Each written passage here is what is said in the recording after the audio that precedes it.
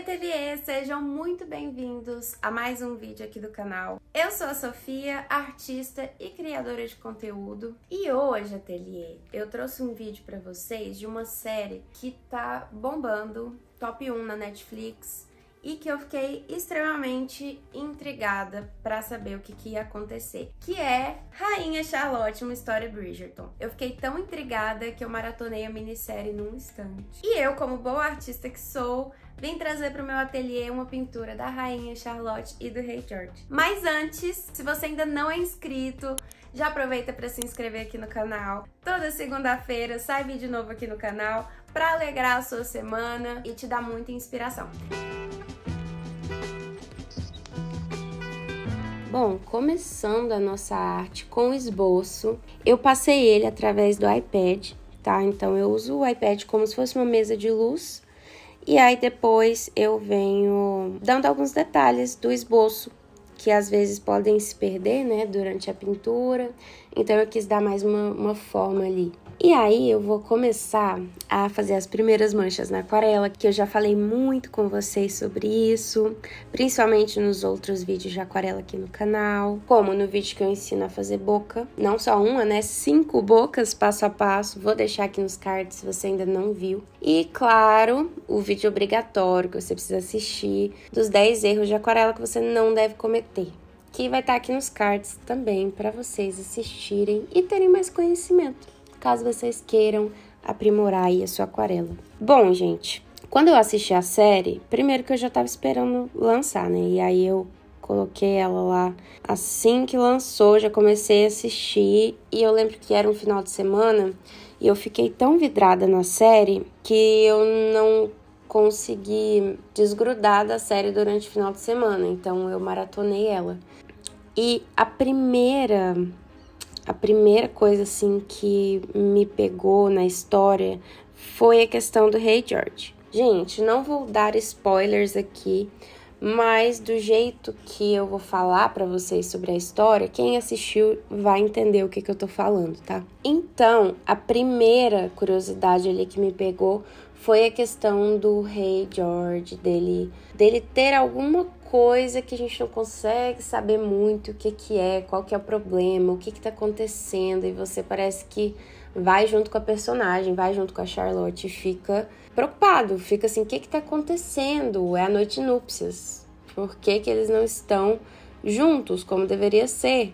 Isso que eu tô falando, gente, sobre a, a questão mental do George, é, realmente o rei George III existiu, tá? Foi uma inspiração aí para a série desse personagem, dessa pessoa, né, desse rei que realmente existiu. E se você pesquisar em qualquer site, você encontra lá que ele foi considerado como o rei louco que perdeu a América. Então aí a gente já tem, né, essa informação. Mas é muito interessante ver como a série aborda isso que a gente começa ali, né, a história com a rainha Charlotte sendo de uma de uma de um outro, não sei como é que fala, reino, de um de um outro estado, de um outro país, né?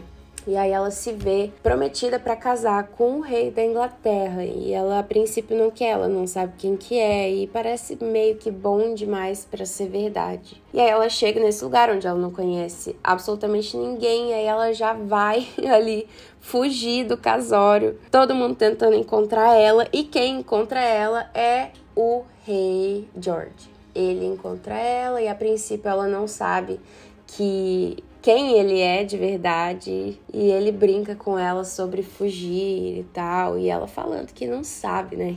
Quem que é essa pessoa que ela vai se casar, se ele é um ogro, se ele é um monstro. E aí eles começam a ter esse primeiro encontro bem legal, bem apaixonante, assim. Acho que uma das cenas mais românticas porque realmente a série acaba tratando de temas pesados, então tem aí essas questões não tão leves, mas esse momento foi bem leve, acho que foi o mais assim inocente da, da série. E aí ela ela começa a falar com ele e ele fala, né? Então você vai fugir de se casar comigo. E aí ela percebe o que tá acontecendo e os dois ali nessa primeira conexão. Ele gosta muito do jeito dela, do jeito de ser, bem, bem ávida. E, e ela acaba gostando dele. Além de que os dois são muito bonitos.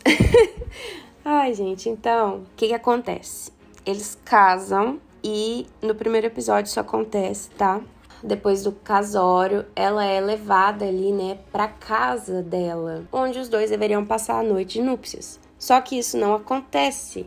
O George meio que foge e a gente fica sem entender. Bom, daqui pra frente é o máximo que eu vou falar, assim, tá? Que é realmente o que é do começo do episódio. E aí, é, a princípio, o que que eu senti. Foi muito difícil ver a rainha sozinha, porque ela passou ali muito tempo sozinha, muito tempo refletindo. Ela é muito observadora, então por mais que esteja acontecendo alguma coisa e a gente fica confuso, parece que ela não está confusa, parece que ela, ao mesmo tempo que está tentando entender a situação, ela tenta deixar as coisas sob o controle dela. E eu acho ela uma personagem extremamente é, bem posicionada. Ela é muito inteligente, muito observadora, muito decidida e é o tipo de personagem que não se abaixa para ninguém. Então, realmente ela serviu ao papel de rainha muito bem. E aí a gente, né, fica sem conhecimento do que tá acontecendo. Ela é tirada do conforto dela, da realidade dela, vai para um lugar completamente diferente, é deixada sozinha pelo marido que tinha essas atitudes muito estranhas, né? Mesmo totalmente totalmente fora do lugar dela. Ela assumiu responsabilidades que não eram de fato dela, né? Pela instabilidade do George. E ela, o tempo todo ali, ela toma as rédeas da situação e vai aprendendo sozinha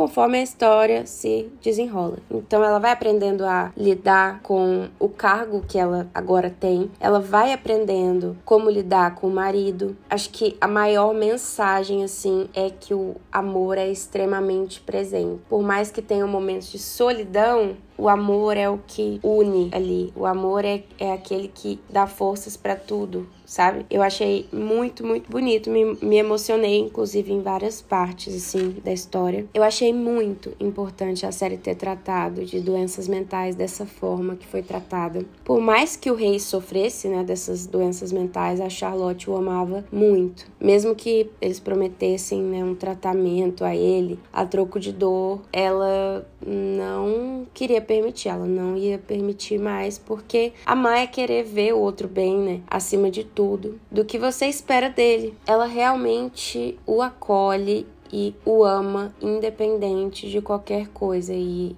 e essa é uma mensagem muito bonita. Naquela época, eles não, não falavam né, sobre doenças mentais, eles nem sabiam o que, que era. Tanto que nos registros históricos mesmo, o rei realmente não foi diagnosticado de forma correta. Mas dá pra ver que ele começa com crises de ansiedade e pânico que evoluem para alucinações. Então, quando a gente vai ver na história, em alguns momentos da história eu até relacionei a crises de ansiedade que eu mesma já tive, né, crise de pânico, então a gente consegue. Ah, é a carga ali que você sente junto com ele, junto com ela, querendo que as coisas deem certo e, e sabendo o que, que tá vindo, o que, que tá acontecendo, quando você percebe os padrões, sabe? Então é muito interessante ver como que as pessoas daquela época estavam lidando com ele e como a Charlotte lidou com essa questão, sabe? Outro tema muito abordado era o querer das mulheres naquela época. Como elas não eram ninguém sem um marido,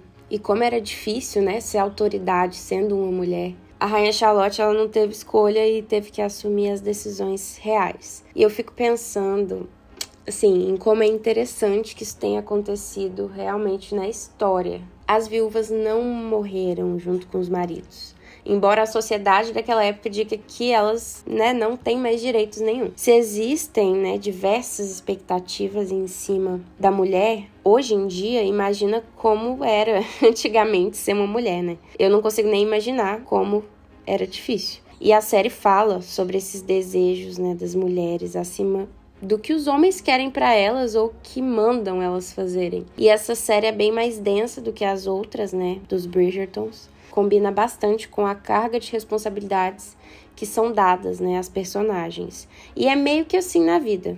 Quanto mais responsabilidade, mais vai ficando pesado, mais você se preocupa, mais você teme e você vai perdendo a inocência. E a gente vê isso com o passar da série, com o passar da vida da Charlotte. Rainha Charlotte tratou de tantos assuntos importantes e doloridos que eu me senti junto com os personagens ali, não só vivendo as coisas boas, né, mas também apresentando as dificuldades da vida, que de verdade são muito mais comuns que as felicidades que a gente vive, né? E hoje tem se tornado mais comum ver conteúdos de filmes, séries, influ até influencers, né? Mostrando os lados ocultos de assuntos como gravidez, gravidez real, né? Doenças mentais, espiritualidade, o lado da mulher em assuntos que não são muito falados. E eu vejo, assim, que cada vez mais as pessoas valorizam a realidade sincera, não apenas assim romantizada, sabe? Não só romantizada. Por isso, eu prezo muito por trazer conteúdos felizes e de inspiração, mas também mostrar as dificuldades, né? os altos e baixos por trás da, da cortina. Até porque a gente pode admirar alguém naquele lugar, mas nunca saber o que aquela pessoa realmente enfrentou para chegar ali e as coisas que ainda enfrentam. A vida não é apenas felicidade, como nos é pintado, mas isso é bom porque assim a gente valoriza os momentos altos muito mais. Essa conversa aqui que eu tive com vocês acabou sendo muito mais profunda, né? Porque realmente falando sobre, sobre esses assuntos em pauta na série, a gente vê que tem muitas coisas a serem destrinchadas, né? Eu quero que vocês saibam que eu gosto muito de conversar sobre esses assuntos. Eu acho que as pautas por exemplo, né, a conversa é sobre uma série, mas o tanto de assuntos que, que tem dentro, né, dessa série e assuntos tanto bonitos, quanto tristes, quanto pesados, quanto felizes e assim é a vida. Então eu acho muito legal, se vocês quiserem, a gente pode tornar isso uma série tá? Uma série que eu falo assim, um quadro, né, no canal sobre pintando enquanto eu falo com vocês, converso com vocês sobre aquele determinado filme ou aquela determinada série que vocês queiram, né, que eu faça uma pintura sobre. E eu quero que, que a gente converse aqui embaixo.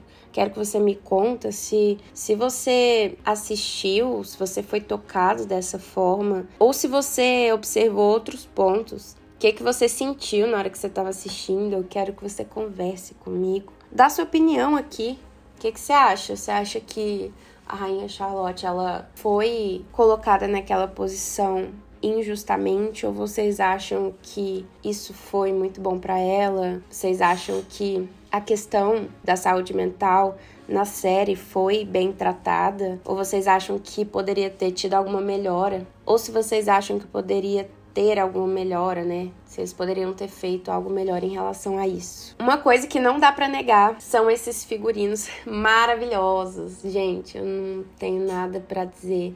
A fotografia, as personagens, o jeito que, que elas são vestidas e os cabelos. Os cabelos eu ficava impressionada. Gente, imagina o tanto de tempo que demorava para se arrumar daquela forma. Eu, para gravar um vídeo, já demora horrores, imagina só, para gravar uma série dessa, né? Meu Deus. E eu quis trazer todos esses detalhes para a roupa deles, né?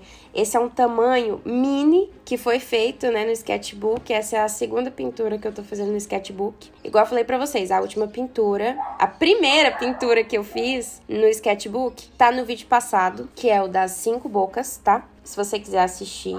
E essa foi a segunda pintura que eu fiz no sketchbook. E com o passar do tempo eu vou mostrando como que vai ser aí o sketchbook. E já deixo um, uma atenção aí para vocês ficarem bem atentos que semana que vem vai sair sketchbook tour, tá? De outro caderno que eu tenho, que já está preenchido, mas que é para aquarela também, um sketchbook inteiro de aquarela. Eu sei que vocês gostam muito de sketchbook de saber o que, que foi pintado ali. Enquanto você preenche esse comigo, vai me acompanhando preencher, você assiste o que já foi preenchido. Então, semana que vem vai estar tá aí. E além da gente conversar sobre a série, me diz aqui o que, que você achou da pintura, que é muito importante para mim saber o que, que você achou. Se você gostou, não esquece de dar o like, porque é extremamente importante para mim. Me ajuda muito como criadora de conteúdo, tá? Então, se você quer ver a sua artista aqui do YouTube crescer, deixa o like e deixa o seu comentário, que vai ser muito importante para mim. Muito obrigada por ter assistido o vídeo até aqui. Um beijo e até o próximo vídeo.